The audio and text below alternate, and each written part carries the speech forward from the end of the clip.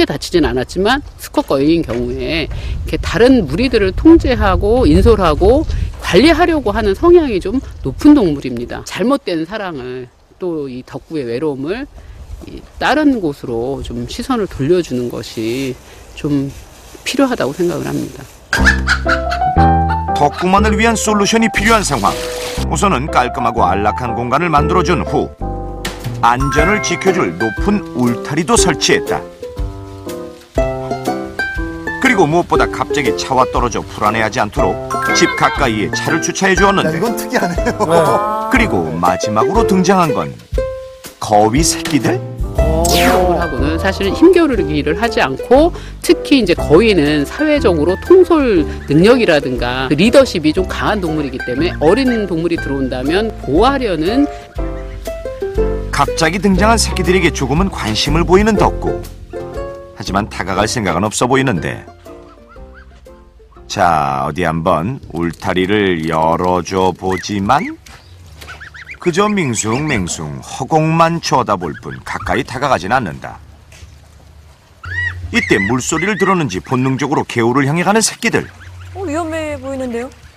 마음이 급했던 탓인지 아이고 아이고 아이고 비탈길에서 급기야 넘어지고 이 순간 오 덕구가 움직인다 넘어진 새끼를 도와주려는 것인지 서둘러 개울로 향하는데 어, 그렇게 처음으로 제 발로 개울에 온 덕구 새끼들의 움직임을 놓치지 않고 자상하게 살펴주는데 야. 예, 약간 책임감 있는 보이스카우트 예, 예. 보는 것 같아요. 하루 24시간 차 하나도 옆에만 안 붙어있던 그. 덕구가 맞나 싶다 이렇게 보니 다정한 거위 가죽 같은 모습 덕구는 새끼들을 거느린 어엿한 아빠 같다 다른 놈들은 좋아하지 않는 것 같은데 그 새끼는 좋아하는 것 같아. 이 새끼들을 보호하는 건 자꾸 저, 요, 고, 자꾸 따, 오고, 가면 자꾸 댕기네. 기분이 참 좋네, 본게니. 짝을 잃은 뒤 자동차에 집착하게 된 덕구 이제는 아슬아슬한 자동차와의 사랑은 접고 거위들의 아빠로 새끼들과 정을 나누며 행복하게 살아가길 바란다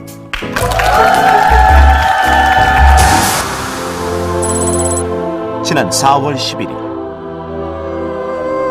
정막을 깨는 늑대들의 울음소리 심상치 않은 기운이 감도는 가운데 불안한 모습으로 우리 안을 오가던 늑대 미가 갑자기 빠르게 땅을 파기 시작했다. 그리고 곧이어 찾아온 산통. 진통 되게 오래 했어요. 네. 예. 탄생의 순간을 위해 힘겨운 시간을 견디고 있는 어미. 오로지 홀로 감당해야 하는 진통이 계속되고 어미는 사력을 다하고 있었다. 그리고 마지막으로 힘을 주는 순간 드디어 새끼가 모습을 보이기 시작했다. 정말 탄생은 신비로운 것 같습니다. 예. 아, 힘겨웠지만 감격스러운 어미와 새끼의 첫 만남. 어미는 지친 몸으로도 새끼를 살펴주고 있었는데 그 후로도 진통은 계속됐고 꼬박 10시간이 넘는 산통 끝에 미는 축복 속에 여섯 마리의 새끼를 품에 안았다. 여섯 마리예요. 네, 다 건강하게 나왔어요. 네.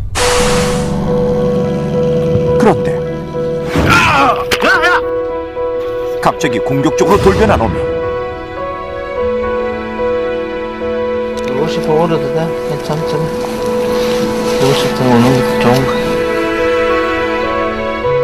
대체 보안에 무슨 일이 생긴 걸까? 경이로운 늑대 출산 그 후의 이야기가 지금 공개됩니다. 출산 2주 뒤 다시 찾은 보안의 집. 새끼들의 안부가 궁금한데 예, 잘 크고 있어요. 지금 눈 뜨고 있는 중이에요. 우리안 이제는 제법 어미티가 나는 미주위로 열심히 젖을 빨고 있는 새끼들의 모습이 야. 한눈에 들어왔다. 그때보다 두 배 늦네요. 예. 때마침 우리 밖으로 나오는 어미. 기회를 엿보던 제작진. 미가 잠시 자리를 비운 틈을 노려 조심스럽게 새끼들 가까이 다가가 봤는데. 그래서 옹기종기 여기 모여 있는데